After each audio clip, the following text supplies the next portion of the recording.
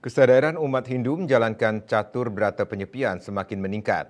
Hal ini dibuktikan gangguan kendaraan saat nyepi kali ini nyaris tak ada. Umat Hindu makin banyak menggelar puasa dan berdiam diri di rumah.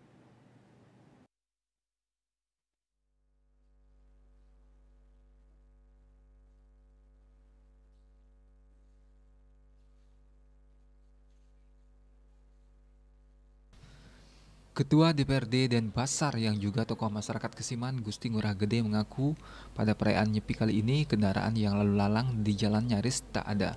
Pengecualian diberikan pada mobil yang membawa keluarga dan memerlukan pelayanan kesehatan di rumah sakit bahkan kendaraan aparat keamanan juga tak lagi lalu lalang karena sistem pengamanan dilakukan secara mandiri. Petugas pecalang desa yang disiagakan dengan sepeda gayung hanya bergerak jika ada masalah.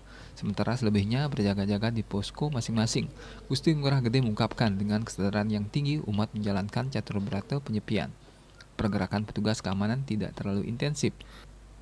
Pihaknya yang juga ketua Satgas Pengamanan Kedaton Kesiman juga mengerahkan 68 anggota tim di 6 pos berjaga selama 24 jam.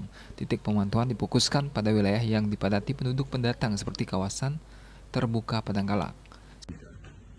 Om Swastiastu, Rahajeng Siang,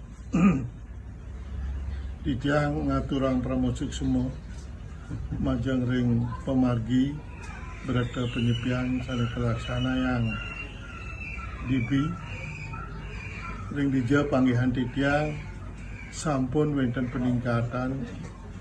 Sangat baik sekali, sangat tertib sekali. Di samping itu juga yang mana biasanya masih ada kadang-kadang kendaraan lalu lalang, tapi kemarin ini betul-betul sipang, sepi sekali, sehingga pelaksanaan daripada uh, petugas-petugas yang menjaga keamanan tidak seperti dulu lagi jalan ke sana ke sini sehingga pelaksanaan berita penyepian ini sangat baik sekali bagi Titia. Mudah-mudahan apa yang sudah dicapai, yang sudah di, bisa didapati tentang pemahaman berita penyepian ini bisa berkelanjutan dan bisa meningkatkan lagi di penyepian yang akan datang ini. Mungkin itu penyampaian Titia.